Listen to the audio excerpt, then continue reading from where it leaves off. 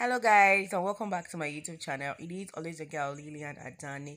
Please if you've not subscribed, please do me a favor and hit on the subscribe button.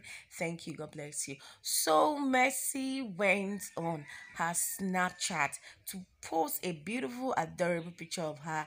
And this is what she said. She said off the market and she posted a ring.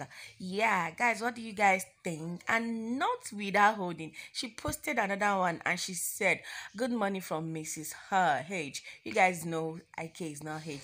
And she went to post the guy's picture on her Instagram covering his face. So yes, and if a fan asked her on Twitter and then she was like, the fan said, Yeah, they said you are married is it true? And she said, Yes, it is true. Guys, Mercy did not just go forward to get married to Ike. And this is what Ike replied and said on his Instagram. He said, The moment when everything changes was the was when I realized realized I deserve too much better.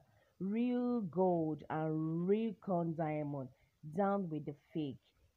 So, guys, who do you think Ike is calling the fake person here? And he went forward to say, I know why you are mad. And he posted this picture of him and Nengi. And Nengi went there to say, a girl just wanted to mind her business, become the better version of herself of herself and focus on our goals. Yeah, guys, what do you think?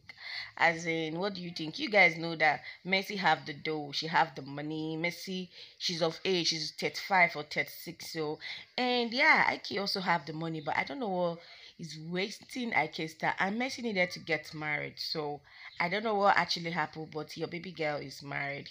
I'm married for good.